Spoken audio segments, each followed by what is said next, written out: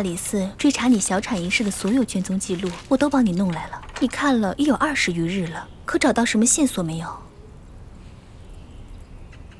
这上面记录了我小产之前接触过的所有药物和膳食，连衣裙、首饰、胭脂都拿去验过，皆是无害的。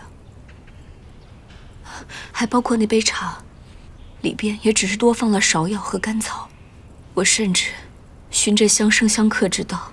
在药典里面去找与此二物相克的东西，可是，可可我那段日子从未接触过。也许，你小产真的只是意外，就是因为之前那盒红麝青娥。不，我自己身体的感觉不会错。也许是大理寺漏掉了什么，一定是那杯茶。那杯茶一定有问题，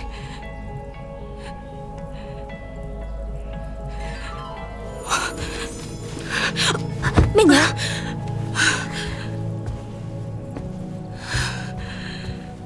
媚娘，你已经好几天没有合眼了，去睡一会儿吧。我没事。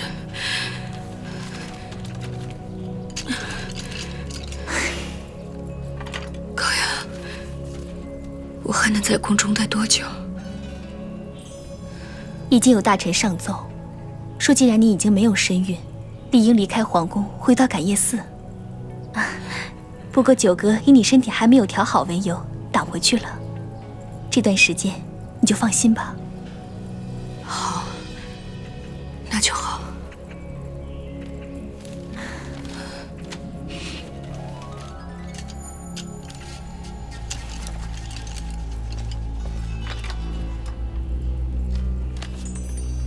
这王皇后还真是够大方，这金蚕丝织就的帝女花却非凡品啊！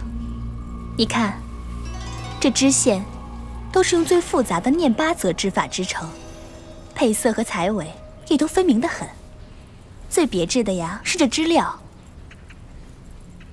嗯，在慈禧面前站久了，居然还能闻到一股清香。这难道是金蚕丝的味道？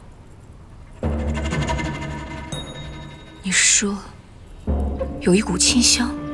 嗯，是啊。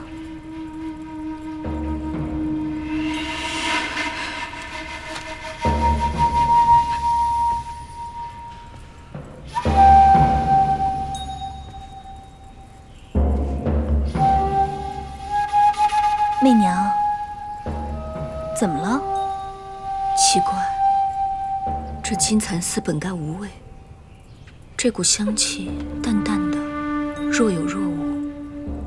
高阳，若不是你提醒我，我从未注意过。想来应该是加了些香料吧。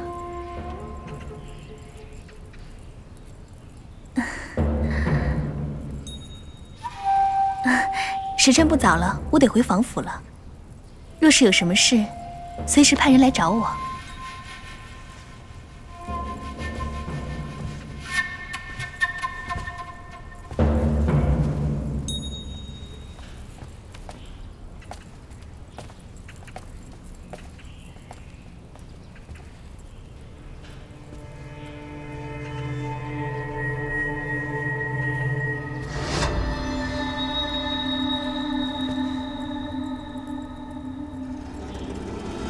瑞安，娘娘有何吩咐？将这幅帝女花织锦裁下一块，给周太医送去，请他看看这上面的金蚕丝，可有何与众不同之处？是。确实如太妃所推测。微臣验过这片织锦上的金蚕丝，确实不简单呐。每一根上面都浸染了无花。无花本身是活血的药物，单用无害，但却与甘草相克。所谓甘草克无花，两者混在一起，便可产生巨大的毒性。我正是因为长期嗅闻无花，再加之喝下的那杯甘草茶，才导致血崩滑胎的。我说的对吗？周太医。不知这片织锦太妃从何而来。自得悉你要回宫时起本宫特令人以金蚕丝绣此帝女花之图今日方告宫城还望太妃笑纳。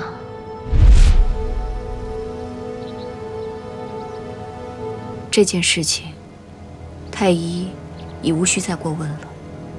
还有，这金蚕丝上被浸染过无花一事，也请太医不要再对任何人提起。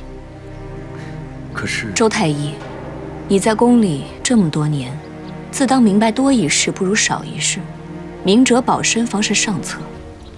难道周太医愿意为了一个小小才人出身的太妃，去得罪整个关陇门阀吗？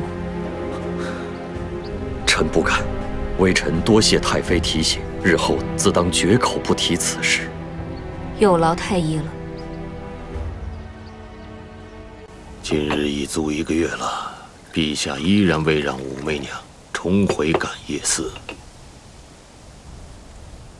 重儿，明日一早卯时，召集关陇一系四品以上官员，汇聚甘露殿外，与为父。一起参奏，请陛下遣武媚娘重回感业寺。是。父亲大人，后庭事务以皇后为尊。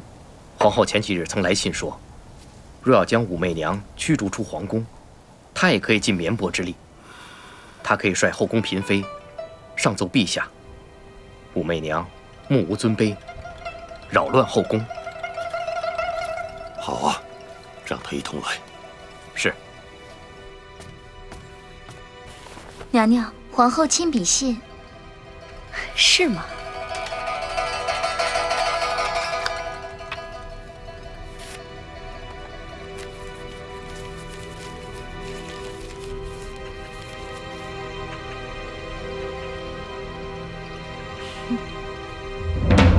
启奏于甘露殿外。驱逐武媚娘离开，听起来倒也有趣。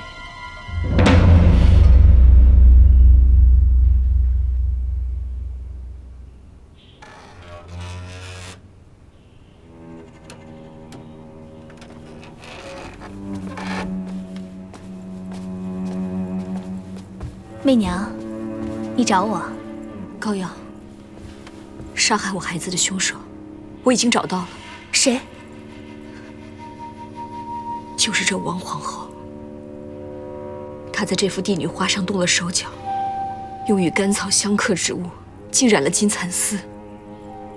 这孩子便是这样消产的。